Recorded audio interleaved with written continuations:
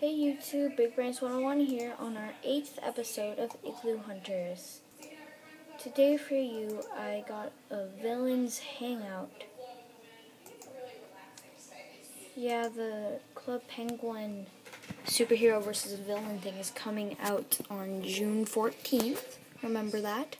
And I decided I want to be on the villain side. So, yeah, I think this this is like one of my favorites. Got some cauldrons over there, over here. We got a big dragon guy. We got a an experiment desk, so, some charts and stuff over there.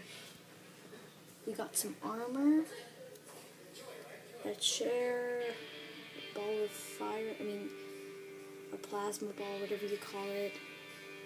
We got some lanterns hanging over here and over there. We got the evil leg thing. We got another dragon over there. I'm sitting on the chair. Yeah, so this is one of my favorites. I was really stupid not to put anything in the middle over here. So that's it. Bye, YouTube. Peace out. Bye. Thanks for watching.